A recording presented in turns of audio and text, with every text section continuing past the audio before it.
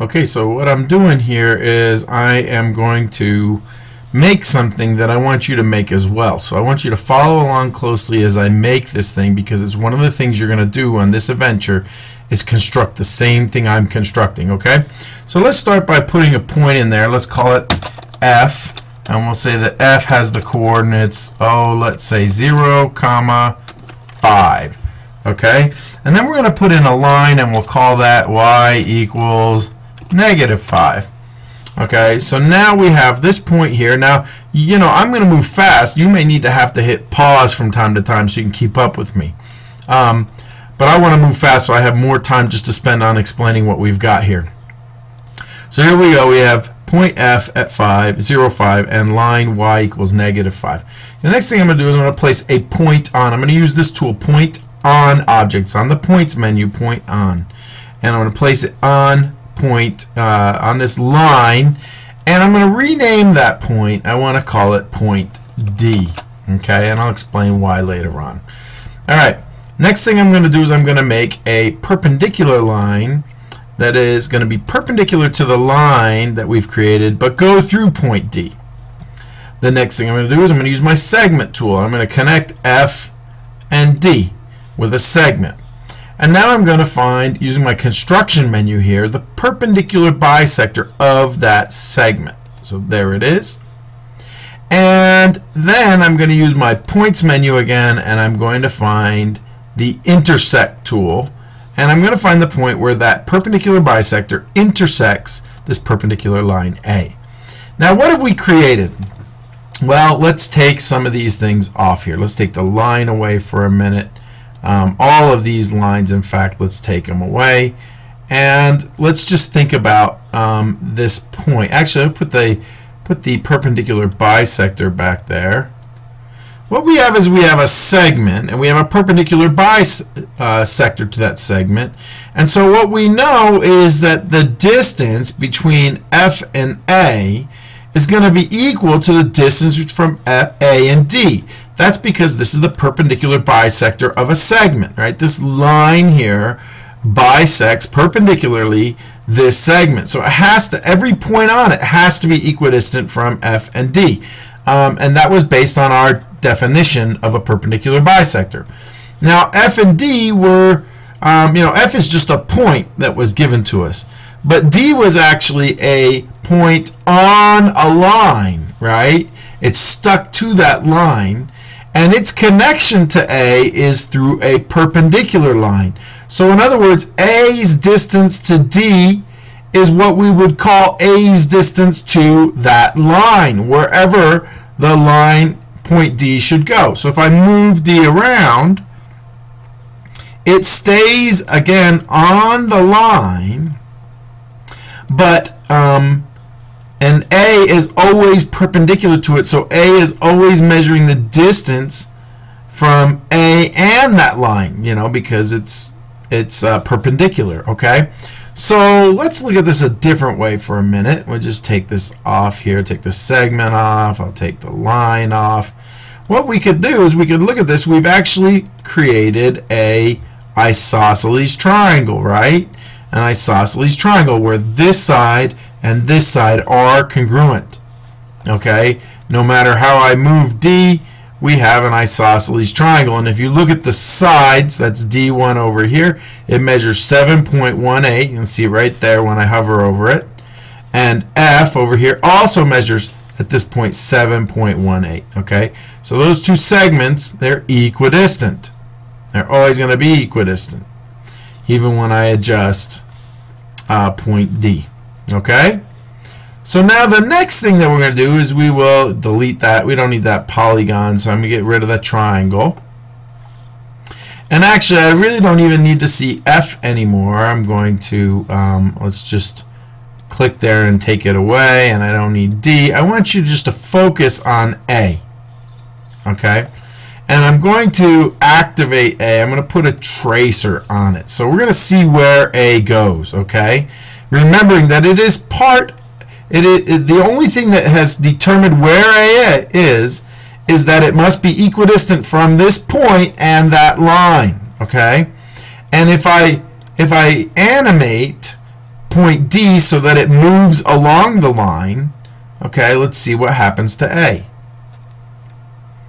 So we see that A is all of these points and it's moving along the line and A is goes off and disappears. So A appears to be taking some shape like this and the only thing we know about all these A's is that they are the points that are equidistant from this point F that existed and that line D that existed. I'm going to zoom out a little bit and we'll watch it a little bit closer. And I want you to recognize the shape here. Watch the shape. You might remember this shape, I hope you do, from Algebra 1 where we learned about quadratic equations.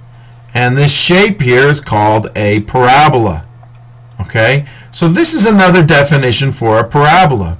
Okay, another definition for a parabola. I'm going to go ahead and I'll let that swing around one more time, but then I'm going to turn the animation off for a second.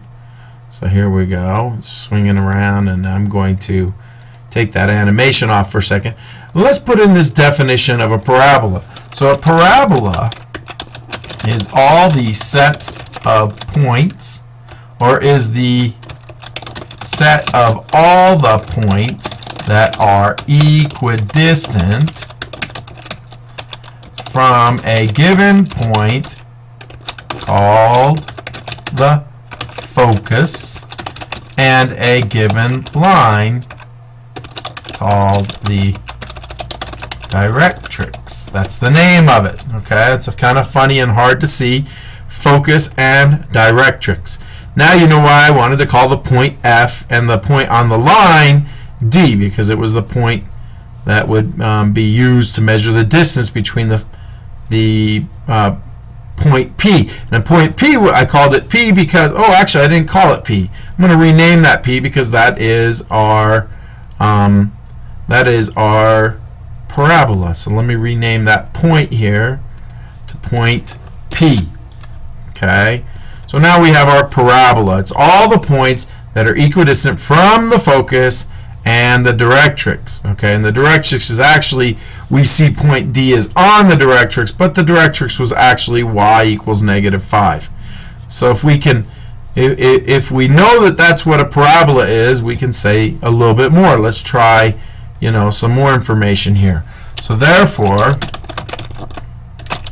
P is equidistant from F, the focus, right, and D, which is a point perpendicular to P on the directrix. Okay? And that means that PF is equal to PD. That's a big deal. I'm going to do a little math by hand here that you need to understand. Okay? But you need to understand that this distance from PF to PD is equidistant. So I'm going to pause this while I set up my, uh, my um, camera and get some algebra ready for us to work out. So now if you remember right now, we just placed point F at 0, 5. My directrix was a point that was on y equals negative 5. So has some value x, which remember I could slide it back and forth so it could stay at any value x really, but the y value was fixed at y equals negative 5. So the, the coordinates for d was some value x and negative 5.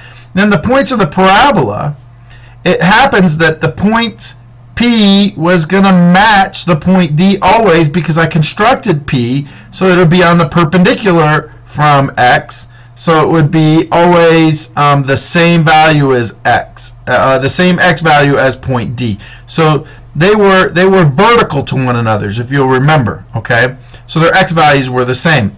The y value, remember we swung P and it switched around. It swung crazy like this. So we had you know this changing in the y value. It was not fixed at negative five. It you know it just moved up and down. So it's some variable amount which we call y.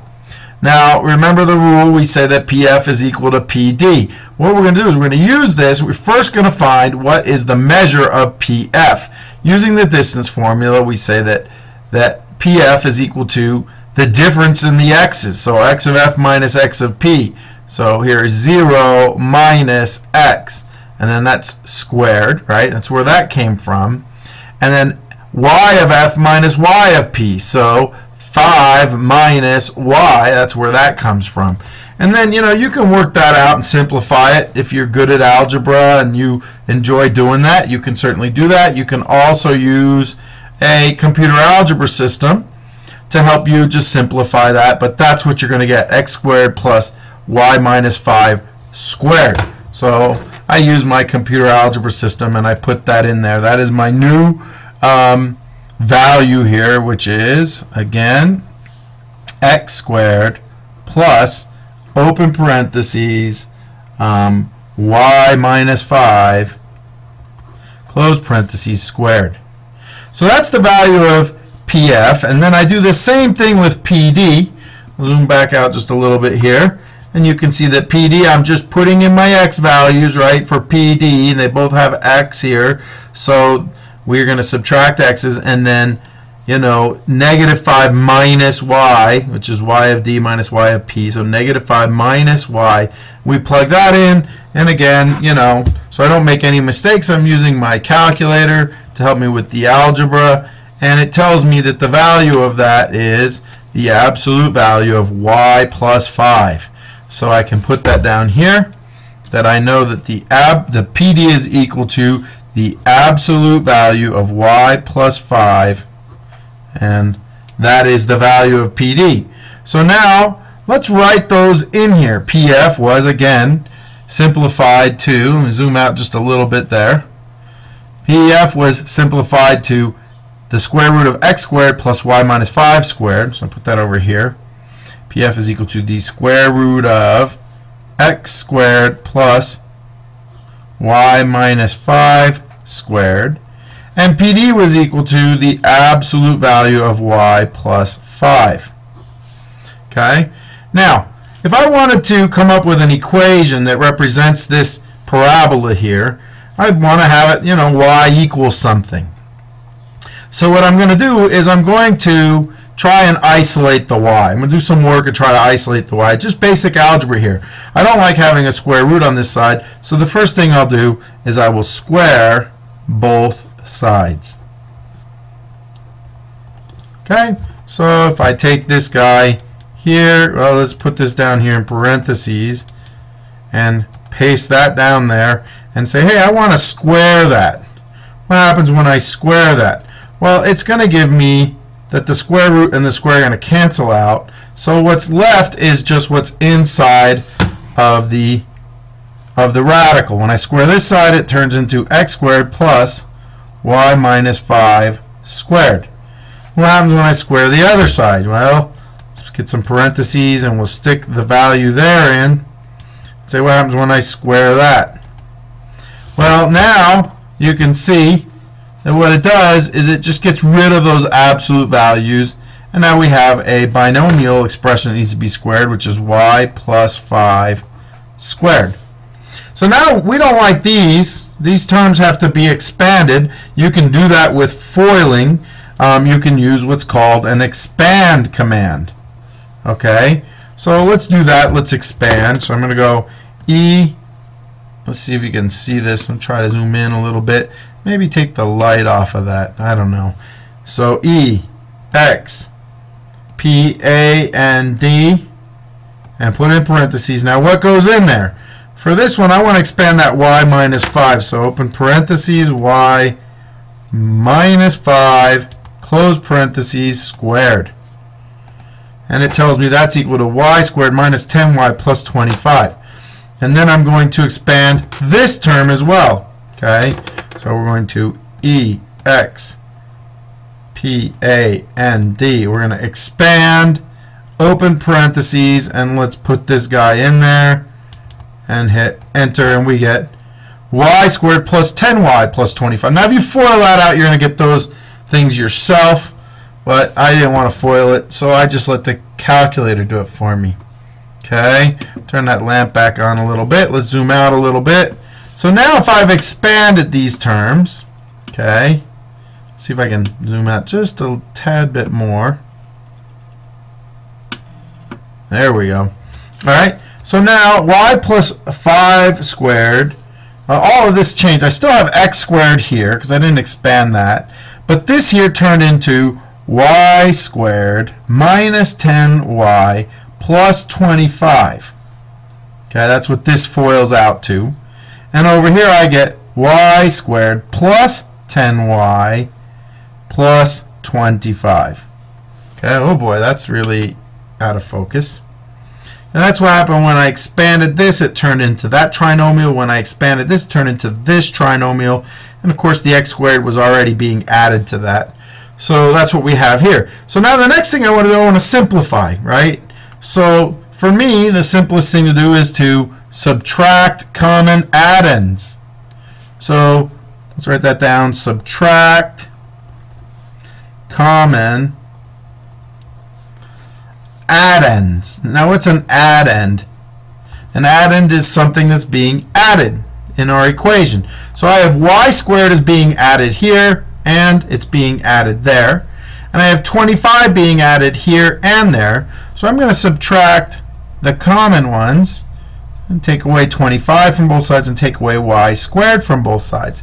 And when I simplify that, I end up with x squared minus 10y equals, see this cancels and that cancels now, it's equal to, now this cancels and that cancels, so it's equals to 10y. The next thing I would do is I would add 10y to both sides. And then I should have x squared is equal to 20y. Okay? Unless I've made a mistake here. I sure hope I haven't.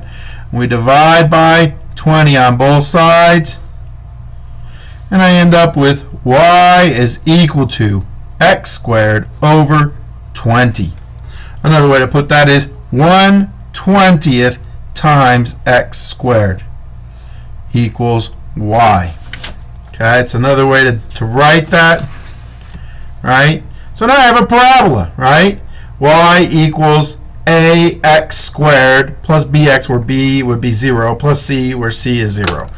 So let's try plugging that into our GeoGebra here, and let's see what happens with that equation. If I go y equals 1 over 20th, 1 over 20 times x squared, okay? So that's 1 20th, right? You can see it down here, 1 20th times x squared, and we hit enter. Now it shows up here, changed 1 20th to 0.05, but that is 1 20th. And here's our, it says conic, but it's a y equals 0.05x squared, the same thing as 1 20th. And we see the parabola exists, and sure enough, we have developed the parabola where all of those points lie. And if I were to grab and move point D, it is going to always be on that parabola. Hey, that's pretty cool. So in other words, if somebody told me that I needed to place, I needed to find the equation for the line that was placed at uh, focus, I'm sorry, if I need to find the equation for the parabola with a focus at y, or 0, 5, and directrix at y equals negative 5, I could think through how to do that using this parabola machine and then use the algebra to derive the equation. So that's what I'm going to have you do. You're going to construct the parabola machine. I want you to select a different focus. Okay, my advice is that you select a focus on the y-axis. That makes it pretty simple. But I don't want it at 5. Put it at 7 or 3 or something else. And then create a directrix, and my advice again is create one that is horizontal to the x-axis, okay? And I just don't want it to be y equals negative 5. You could make it y equals negative 3, y equals negative 7, whatever it is that you want. Uh, my advice to you is that you consider that your focus and your directrix be equidistant from the origin, okay? So that here I am at 0, 5, and my um, directrix was at y equals negative 5. That way I made sure they would be equidistant. But it doesn't have to be. You're going to pick that point. You're going to construct your own parabola machine and publish it on GeoGebra Tube. Put that in your LiveBinder. right? And so you have that work there. Then work through the equation like I have, showing your algebra, and publish that, that equation by taking a picture of your work and um, making a MoveNote out of it where you explain how you did the calculations. I don't care if you want to show or explain that you did them using GeoGebra, but you're going to explain the calculations. And then finally, you're going to make sure that you've graphed your final equation and that it's showing on your parabola, on your, um, sorry, your GeoGebra tube that you've shared. Okay? That's the work for this uh, adventure. Good luck.